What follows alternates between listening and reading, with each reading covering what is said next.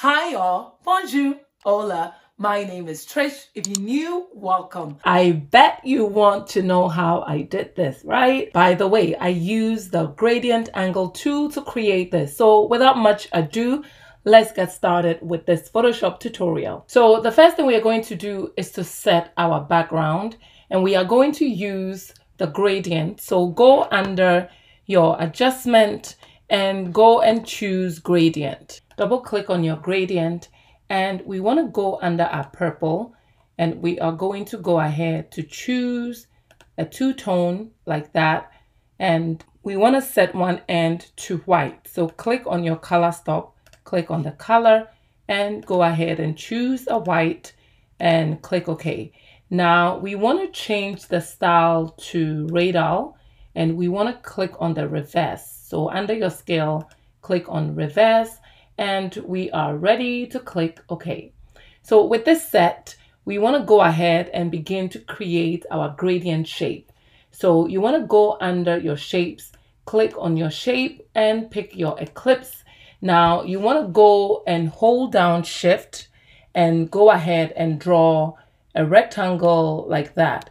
Now you need to come in your fill color and we want to make sure that we choose the gradient fill. Now we want a two-tone. So we are going to click on this one to create a two-tone. We want to change this from a linear to an angle. So we have something like this. I'm going to go ahead to scale this down. So you notice that we just have this one shape that we've created. So we are going to go ahead to make a duplicate. So you want to hold down Command J to make a duplicate and we're going to move that up like that. Now we want to set the two together and basically merge it.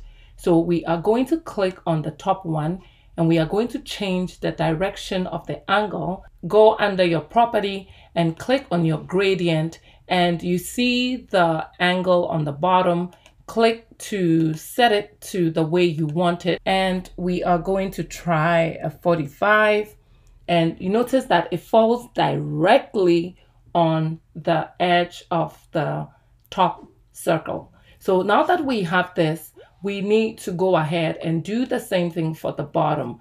So I'm going to click on that image, click on my appearance, go to my angle and then rotate that, play with it a little to see where it lands. And it looks like we got it. So the first one is at 135. So we're going to click on this one and we are going to click on our fill this stop all the way to the end because you see what it creates.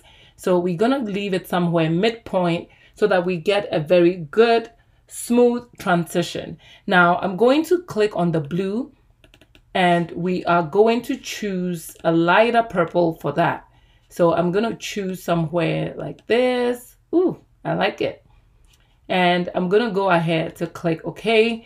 Now I'm going to take this back a little so we have a very nice gradual faded effect. Now I'm going to go ahead and click on that to close it.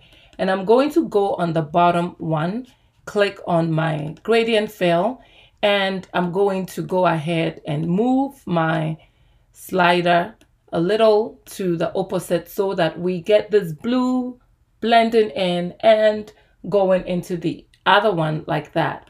So with these two all set, we can go back to this one and then maybe move it back a little so we don't have the purple blending in with the white. So you see it's a very gradual effect.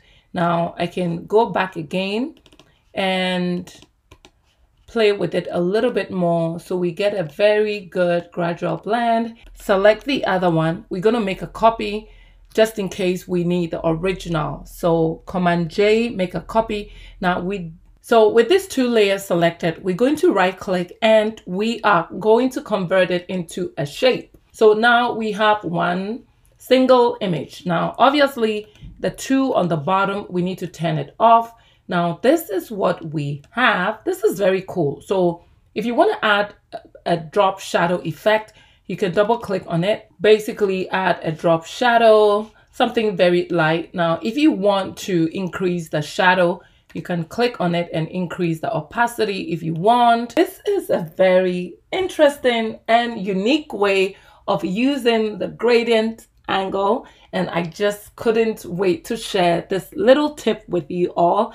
So I hope you enjoy this. Please give this video a thumbs up and I will see you in the next tutorial.